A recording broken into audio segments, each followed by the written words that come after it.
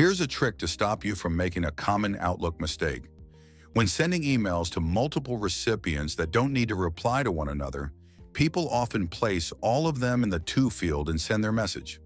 The recipients will, sooner or later, accidentally click Reply All and send their personal reply to the entire organization, in worst case. To prevent them from spamming everyone, do this.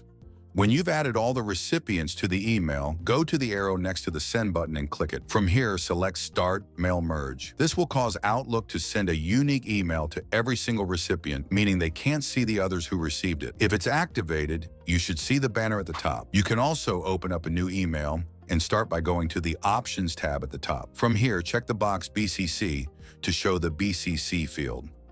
Anyone who's added to that field will not be visible to others. So even though this email had multiple recipients added, the recipients themselves can't see one another when they reply. Instead, the reply goes to me and no one else.